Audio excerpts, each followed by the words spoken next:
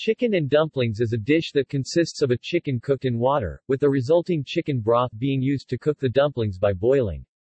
A dumpling in this context is a biscuit dough, which is a mixture of flour, shortening, and liquid, water, milk, buttermilk, or chicken stock. The dumplings are either rolled out flat, dropped or formed into a ball. It is a popular comfort food dish, commonly found in the southern and midwestern United States, that is also attributed to being a French-Canadian meal that originated during the Great Depression. Some sources say that chicken and dumplings originated in the southern United States during antebellum era and was considered a mainstay during harsh economic times. One of the earliest versions of the recipe was cornmeal dumplings cooked with turnip greens. Chicken and dumplings as a dish is prepared with a combination of boiled chicken meat, broth produced by boiling the chicken, multiple dumplings, and salt and pepper for seasoning.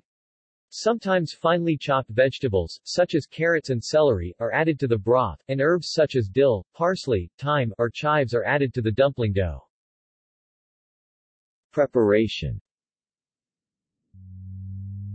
Various commercial preparations of chicken and dumplings are available, including canned and frozen versions of the prepared dish. Frozen raw dumplings, typically very flat strips about 1 by 4 inches, can be cooked in any broth. The consistency of the prepared dish, whether homemade or purchased, varies from a thin soup to a very thick casserole-like consistency, easily eaten with a fork. Thicker preparations are made by gently simmering the dumplings longer and or adding flour or another thickening agent directly to the broth. Flour tortillas or canned biscuits, rolled thin on a floured surface, cut into strips, are a quick and easy substitute for homemade dough. Butter may be added to the recipe for added richness.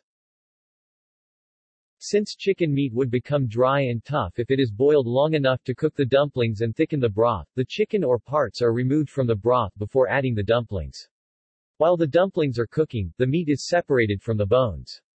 When the dumplings are done and the broth seasoned and thickened, the chicken is returned to the broth. The dish is then ready to be served, but may be kept on low heat so as to not further cook the chicken. International versions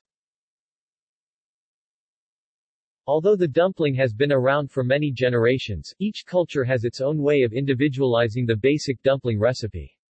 There are other international versions of chicken and dumplings. For instance, the Chinese culture has the wonton, which is similar to the chicken and dumplings dish as we know it today. Additionally, the Iranian Jewish dish, called gondi, includes matzah ball dumplings, which are also common in Central European food. Since the creation of the dumpling, various meats aside from chicken have accompanied it, such as beef, lamb and pork. Variations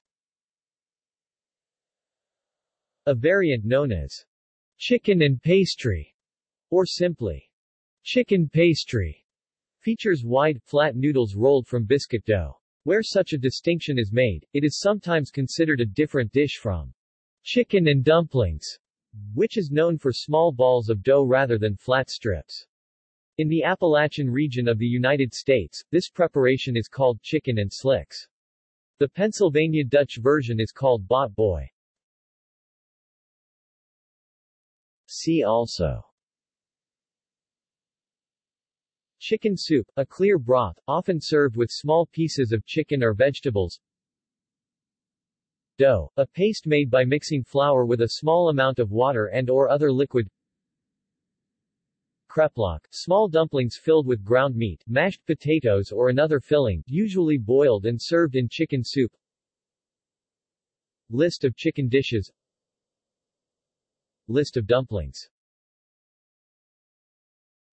References